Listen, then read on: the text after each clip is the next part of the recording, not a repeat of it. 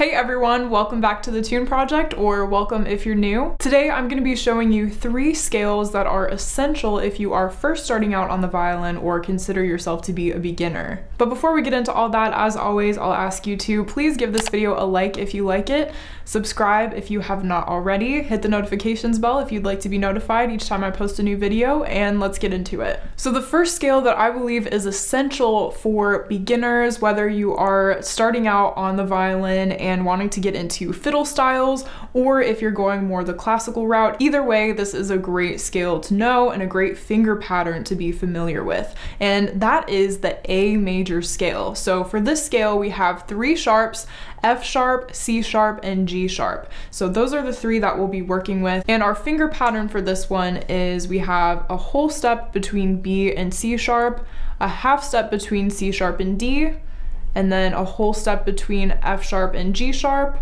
and a half step between G sharp and A. So the same exact finger pattern on both the A string and the E string. So that should be pretty simple to remember. And actually that finger pattern will be used in the rest of the scales that we'll be talking about today. So if you can remember that, whole step, half step, you'll be in great shape. So let's go ahead and get started with this A major scale. What I'll do is I'll go ahead and play it once for you so that you can hear how it sounds, and then I'll play it a second time so that you can play along with me. So here we go.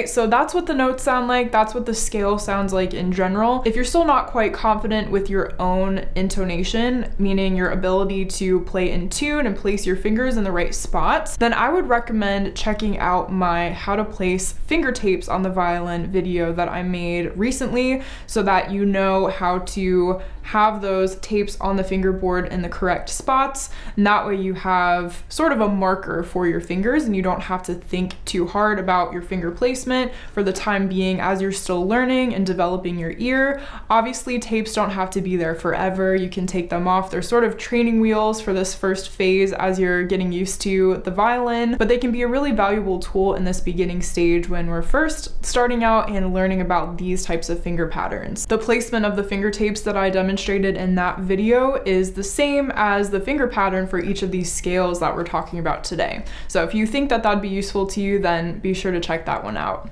So now that you've heard the A scale and we've talked about tapes and the finger pattern that we have for this scale and all of that, let's go ahead and play it together. So we're gonna play half notes for this one, so two beats per bow, and I'll count us off to four. So one, two, three, four.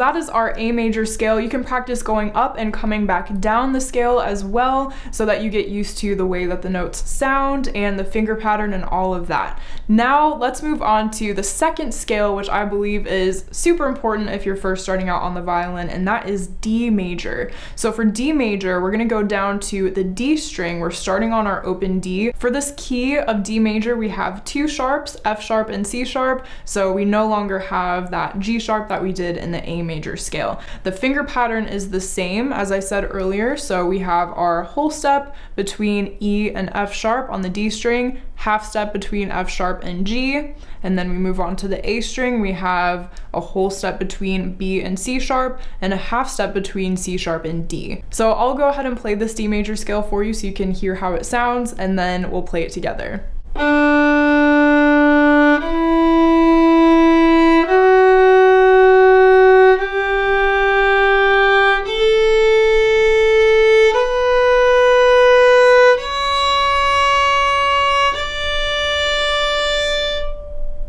All right, and now we'll do the same thing that we did for the A major scale, and we'll play each note using half notes.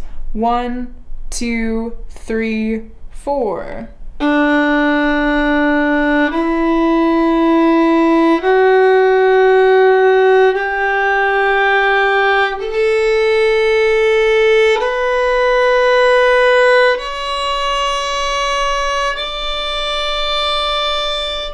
So that is our D major scale. Now moving on to the third and final scale, which I believe is so important for beginners to know is G major. And this is a really common key as well. Again, whether you are hoping to play fiddle tunes or classical pieces, it's a very common key for the violin. And for this key, we have one sharp and that's F sharp, but we have the same finger pattern as we did for the other two scales that we played today. So the notes for this one, we're starting on open G, so we have G, A, a whole step to B, half step to C, and then we go to open D, E, whole step to F sharp, half step to G.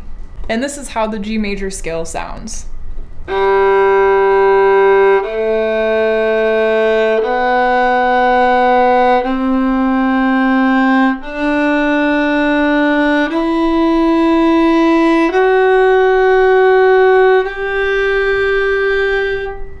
So now that you've heard it and are a little bit more familiar with the finger pattern at this point since we've played it twice, let's go ahead and play this G scale together. So we're starting on open G, I'll count us to four and we'll play using half notes. One, two, three, four.